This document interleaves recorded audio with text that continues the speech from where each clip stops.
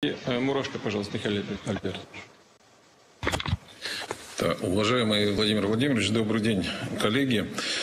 Э, период э, пандемии мы столкнулись с взрывным ростом потребления средств индивидуальной защиты во всех медицинских организациях. И необходимо отметить, что зарегистрированных на территории Российской Федерации отечественных и зарубежных медицинских изделий, используемых а, для защиты медперсонала было до а, периода начала подъема инфекционной заболеваемости фактически в два раза меньше, чем на сегодняшний день.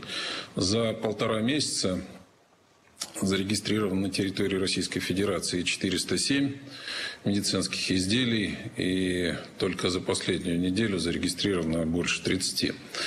А, и 91% из них – это отечественное производство. Я хотел поблагодарить губернаторов, а, особенно губернатора Ивановской области.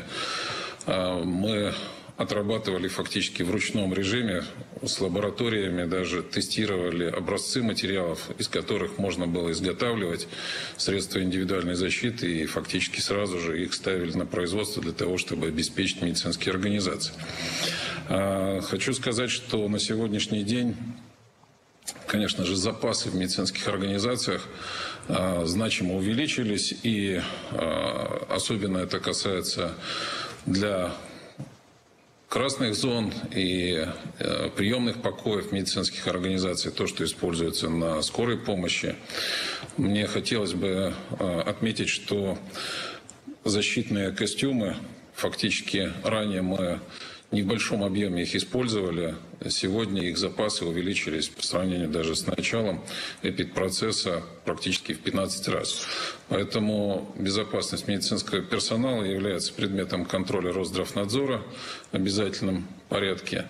И, э, как уже Денис Валентинович сказал, в планах э, стоит закладка средств индивидуальной защиты для резервных фондов для случая если придет вторая волна. Но и вообще для экстраординарных ситуаций мы запланировали финансирование совместно с Министерством финансов план. Ну и сейчас еще одна инновация. Это мы подготовили закон изменения в нормативно-правовое регулирование, где вводится такая же норма, как по лекарственным препаратам обязанность уведомлять надзорные ведомства об объемах, вводимых в оборот, в гражданский оборот медицинских изделий, для того, чтобы мы четко понимали объемы э, все, которые используются на территории Российской Федерации по лекарственным препаратам. У нас такая норма действует уже 4 года и позволяет нам оперативно управлять. Хочу отметить, что вообще в этот период э, отечественная промышленность показала себя хорошо, потому что фактически и подъем увеличения производства лекарственных препаратов и медицинских изделий в основном, конечно, опирался на отечественную промышленность. Поэтому э, развитие отечественной промышленности мы считаем приоритетным ну, для того, чтобы иметь стабильное обеспечение медицинской медицинской отрасли в целом. Доклад закончил. Спасибо большое. Хорошо. Спасибо.